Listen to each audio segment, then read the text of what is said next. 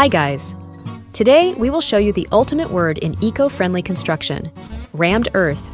Rammed earth construction is a fascinating technique for building using natural raw materials such as earth, chalk, lime, or gravel. Here's how it works.